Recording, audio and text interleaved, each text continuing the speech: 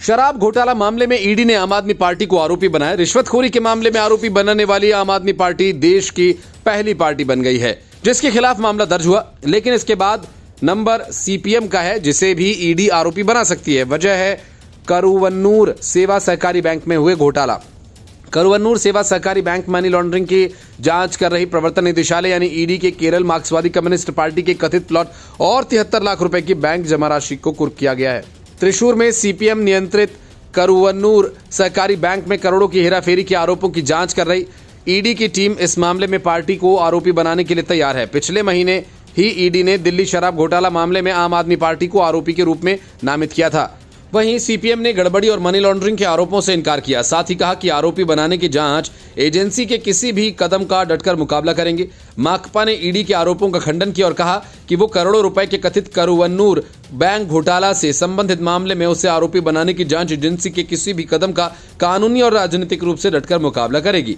Party के प्रदेश सचिव M we Govindan ने आरोप लगाया कि ईडी राजनीतिक कारणों से विभिन्न मामलों में विपक्षी दलों और उनके नेताओं को आरोपी बनाने का प्रयास कर रही है। ईडी का मानना है कि उसने जो प्लॉट सीज किया, वो माकपा के पार्टी ऑफ़िस के लिए था और उसे ऋणधारकों या करुवन्नूर सेवा सहकारी बैंक द्वारा मंजूर किया गया ऋण के लाभार्थियों से मिली कथित रिश्वत से खरीदा गया था। त्रिशूर मामले में आरोप लगाया गया कि बैंक कर्मचारी द्वारा इस पूरे मामले में करीब 300 करोड़ रुपए की हेराफेरी की गई और इस घोटाले में सत्तारूढ़ सीपीएम के स्थानीय पदाधिकारी शामिल थे। करुवन्नूर और कोऑपरेटिव बैंक में से एक है जिस पर बीते तीन साल से आर्थिक धोखाधड़ी के आरोप लगे हैं। इस पूरे मामले की जाँच ईडी कर रही है। बैंक ने कई हज़ार ग्राहकों का पैसा लौटाने से मना कर दिया था और इस घोटाले ने 2021 में राज्य की एलडीएफ सरकार को हिलाकर रख दिया। केरल की सरकार मज़बूत कोऑपरेटिव बैंक को लेकर अपनी पीठ थपथपाती रही थी और अब उसी बैंक पर घोटाले का आरोप है। ईडी ने पिछले साल कहा था कि बैंक ने सीपीएम विधायक और पूर्व मंत्री एसी मोइदीन के कहने पर बेनामी ऋण बांटे। अगस्त 2023 में ईडी ने त्रिशूर में मोइदीन के घर पर छापा मारा। मोइदीन एलडीएफ शासन के दौरान 2016 से इक्कीस तक स्थानीय स्वशासन विभाग के मंत्री के रूप में कार्य कर रहे थे। इससे पहले उन्होंने त्रिशूर में सीपीएम के जिला सचिव के रूप में कार्य किया था। और बैंक में बारह हज़ार जमा करता थे। बैंक द्वारा उनका पैसा वापस लौटाने से मना करने पर कुछ ने आत्महत्या कर ली थी।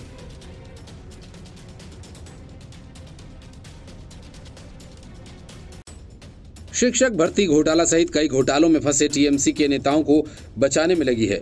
ममता बनर्जी अपनी तरफ़ से पूरी कोशिश कर रही हैं। ऐसे में जब ममता बनर्जी के साथ सीजीआई डीवाई चंद्रचूड़ और कलकत्ता हाईकोर्ट के मुख्य न्यायाधीश टीएस शिवगढ़ ने मंच साझा किया। तो ममता बनर्जी ने अपने हिसाब से एक तरह से न्यायपालिका पर दबाव बनाने की कोशिश कर डाली। लेकिन सीजीआई ने ममता बनर्जी को पलटकर ऐसा बात कह दी कि जिसके बाद उनका चेहरा देखने लायक था। सीजीआई और मुख्य न्यायाधीश की मौजूदगी में ममता बनर्जी ने कहा कि न्यायपालिका को बिल्कुल प्योर पानी, शुद्ध और ईमानदार होना चाहिए। उन्होंने कहा कि न्यायपालिका को राजनीतिक पूर्वाग्रहों से भी मुक्त होना चाहिए। दरअसल ममता के इस बयान की चर्चा हो रही थी, इसलिए क्योंकि ये बातें भारत के मुख्य न्यायाधीश डीवाई चंद्रचूड़ की मौजूदगी में कही गई। बंगाल की राजधानी कोलकाता में नेशनल जुडिशियल एकेडमी के पूर्व क्षेत्र, द्वितीय क्षेत्रीय सम्मेलन का उद्घाटन किया गया, जिसमें हिस्सा लेने के लिए मुख्य न्यायाधीश डीवाई चंद्रचूड़ और कोलकाता हाईकोर्ट के मुख्य न्यायाधीश टी एस शिवगढ़नम भी पहुँचे थे। इस मौके पर बंगाल की मुख्यमंत्री ममता बनर्जी ने कहा कि मैं इस बारे में बात करने के लिए क्षमा चाहती हूँ। मेरा मकसद किसी को अपमानित करना नहीं विनम्र निवेदन है। कृपया इस बात को ध्यान रखें। न्यायपालिका में कोई राजनीतिक पूर्वाग्रह नहीं होना चाहिए। न्यायपालिका को शुद्ध, बिल्कुल पवित्र ईमानदार होना चाहिए ताकि लोग इसकी पूजा करें। सीएम ने न्यायपालिका को लोगों के लिए एक महत्वपूर्ण मंदिर और न्याय प्रदान करने वाली सर्वोच्च संस्था के तौर पर बताया। उन्होंने कहा कि ये मंदिर मस्जिद, गुरुद्वारा और गिरिजा घर की तरह हैं। न्यायपालिका लोगों की है। लोगों के द्वारा, लोगों के लिए न्याय पाने की और संवैधानिक अधिकारों को बनाए रखने की अंतिम सीमा है। ममता की बातों को सुनने के बाद डीवाई चंद्रचूड़ ने कहा कि जब उनसे कहा जाता है कि अदालत न्याय का मंदिर होता है तो वो कुछ नहीं बोल पाते, क्योंकि मंदिर का मतलब है कि जज भगवान की जगह हैं। उन्होंने कहा, बल्कि मैं कहना चाहूँगी कि जजों का काम लोगों की सेवा करना और जब आप खुद को ऐसे व्यक्ति के रूप में देखेंगे जिनका काम लोगों की सेवा करना है तो आपके अंदर दूसरे के प्रति संवेदना और पूर्वाग्रह मुक्त न्याय करने का भाव पैदा होगा। उन्होंने कहा कि ऐसी किसी क्रिमिनल केस में किसी को सजा सुनाते समय जज संवेदना के साथ ऐसा करते हैं, क्योंकि आखिरकार किसी इंसान को सजा सुनाई जा रही है। सीजीआई चंद्रचूड़ ने कहा, इसलिए मेरा मानना है कि संवैधानिक नैतिकता की ये अवधारणाएँ महत्वपूर्ण है, न सिर्फ़ सुप्रीम कोर्ट या हाई कोर्ट के जजेस के लिए, बल्कि जिला स्तर के जजेस के लिए भी, क्योंकि न्यायपालिका के साथ आम लोगों का पहला संपर्क ज़िले की न्याय व्यवस्था के साथ शुरू होता है। दरअसल, कलकत्ता हाईकोर्ट ने हाल ही में 2016 टीचर भर्ती घोटाला के तहत नियुक्तियों को रद्द किया था और सीएम ममता ने इससे लेकर हाईकोर्ट की आलोचना की थी। उन्होंने कहा, आरोप लगाया, बीजेपी नेताओं के ज़रिए न्यायपालिका के एक हिस्से को प्रभावित किया जा रहा है। वहीं फैसला सुनाने वाले हाईकोर्ट के जज अभिजीत गंगोपाध्याय ने अपना पद छोड़ दिया और फिर बीजेपी में शामिल हो गए। यही वजह थी कि चुनाव प्रचार के दौरान ममता ने कहा था कि युवा आपको कभी माफ़ नहीं करेंगे। आपके ज़रिए सुनाए गए फैसले सभी फैसलों पर सवाल या निशान पैदा होता है। मैं न्याय पर बात नहीं कर सकती हूँ, लेकिन फैसलों पर टिप्पणी ज़रूर कर सकती हूँ। उन्होंने आगे गंगोपाध्याय के ज़रिए दिए गए फैसलों पर सवाल उठाए। अभिजीत गंगोपाध्याय को तामलुक लोकसभा सीट से बीजेपी के टिकट पर जीत भी मिली है। Bureau report, news of India. मुख्यमंत्री बनने के उद्धव ठाकरे के सपने को शरद पवार ने एक झटके में तोड़ दिया। सीएम बनना तो दूर, शरद पवार ने उद्धव ठाकरे को सीएम फेस के रूप में प्रोजेक्ट करने से भी इनकार कर दिया। मतलब साफ़ है कि अगर एमवीए सरकार सत्ता में आती तो इसका मुख्यमंत्री कौन होगा? इस सवाल का जवाब शरद पवार नतीजों के आने के बाद बताना नहीं चाहते हैं।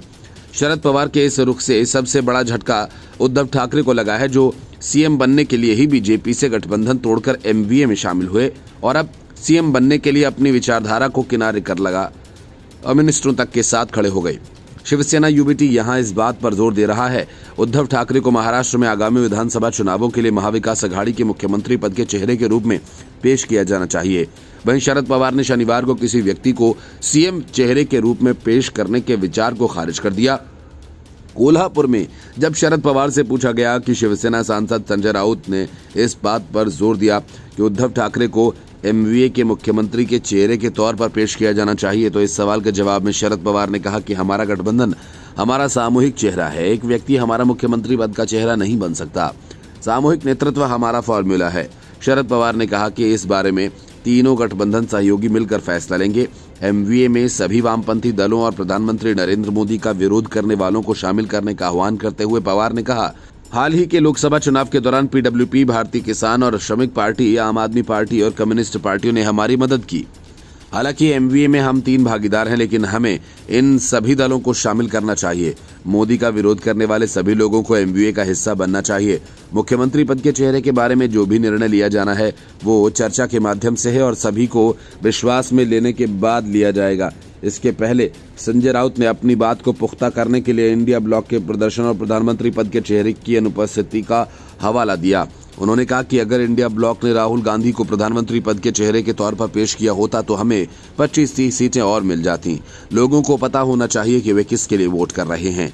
लोगों ने इंदिरा गांधी और नरेंद्र मोदी को वोट दिया। वे चेहरा जानना चाहते हैं, हमारे बीच इस बात को लेकर कोई मतभेद नहीं है। हमारा मुख्यमंत्री पद का चेहरा कौन होना चाहिए? हम एकजुट होकर चुनाव लड़ने के लिए दृढ़ हैं। हम 175 से 180 विधानसभा सीटें जीतेंगे। संजय राउत के कहने का मतलब ये था कि सीएम पद किसे मिलेगा। इसका फैसला होने के बाद ही चुनावों में उतरा जाना चाहिए। यानी उद्धव ठाकरे को सीएम कैंडिडेट बनाकर उनके नेतृत्व में चुनाव लड़ा जाना चाहिए। नहीं तो एमवीए को नुकसान हो सकता है।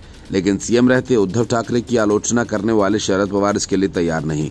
ज़ाहिर है कि पवार के इस रवैये से एमवीए में तनाव बढ़ेगा और बात अगर बढ़ी तो दूर तलक जाएगी। Bureau report, news of India. Lok Sabha चुनावों के कुछ महीनों पहले कांग्रेस ने दो राज्यों, कर्नाटक और हिमाचल प्रदेश में सरकार बनाई, लेकिन अब दोनों ही राज्यों की सरकार आपसी गुटबाजी का शिकार होकर रह गई। कब कहाँ बगावत हो जाए और सरकार गिर जाए, इसका अंदाज़ा लगा पाना मुश्किल है। हिमाचल प्रदेश में राज्यसभा चुनावों में कांग्रेस के उम्मीदवार अभिषेक मनु सिंघवी की हार के बाद से कांग्रेस की सरकार डोल रही है। लोकसभा चुनावों में मिली करारी हार के बाद से कांग्रेस में खलबली मची हुई है। और इन सब के बीच राज्य के पूर्व सीएम जयराम सिंह ठाकुर बड़ा दावा कर रहे हैं, जिससे कांग्रेस में हंगामा मच गया। जयराम ठाकुर का कहना है कि कांग्रेस के पंद्रह से अधिक विधायक उनके संपर्क में हैं। उन्हीं के विधायक कांग्रेस की नाव डुबोने के लिए षड्यंत्र रच रहे हैं। पूर्व सीएम जयराम ठाकुर ने नालागढ़ में दावा किया कि वो यहाँ उपचुनाव में बीजेपी प्रत्याशी कृष्णलाल ठाकुर के लिए उपचुनाव प्रचार करने पहुँचे थे। जयराम का तीन सीटों पर होने वाले उपचुनाव में जीत का दावा है। उन्होंने कहा कि प्रदेश में सत्ता परिवर्तन होना तय है। बीजेपी हिमाचल में एक बार फिर से सरकार बनाने वाली है।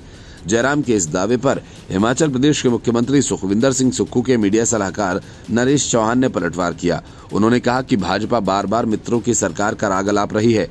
क्या कांग्रेस सरकार में दुश्मनों को स्थान दे दें? उन्होंने कहा कि हिमाचल सरकार में मित्रों को फ़ायदा देने में क्या बुराई है? सरकार ने मित्रों को फ़ायदा दिया है और आगे भी देंगे। सुखू सरकार ने पचहत्तर हज़ार करोड़ रुपए के कर्ज के साथ पंद्रह महीने पहले कार्यभार संभाल लिया था और इसके लिए भाजपा जिम्मेदार है। नरेश चौहान ने कहा कि तीनों ही निर्दलीय विधायकों के पास बहुत दनभल है और ऐसे प्रत्याशी ज़्यादा पैसा होने के चलते विधानसभा में पहुँच जाते हैं, जो लोकतंत्र के लिए बहुत घातक है। पैसों के बल पर विधानसभा में पहुँचने वाले लोग ठीक नहीं। इस उपचुनाव में जनता ऐसे प्रत्याशियों को सबक सिखाएगी उन्होंने कहा कि भाजपा के पास अभी 27 और कांग्रेस के पास 38 विधायक हैं, लेकिन नेता प्रतिपक्ष जयराम ठाकुर को कोई समझाए? कि उनके पास क्या नंबर गेम है? जयराम ठाकुर अपने विधायकों को जोड़े रखने के लिए मीडिया के माध्यम से सभी को भ्रमित करते रहे हैं। चौहान ने कहा कि वो दिन में भी सपने देख रहे हैं। अब कांग्रेस सरकार टूटने वाली है, लोकसभा चुनाव में लोकतंत्र मज़बूत हुआ और भाजपा के नेताओं का अहंकार टूटा और खरीद फरोख्त की सियासत पर लगाम लगी। Report, news of India.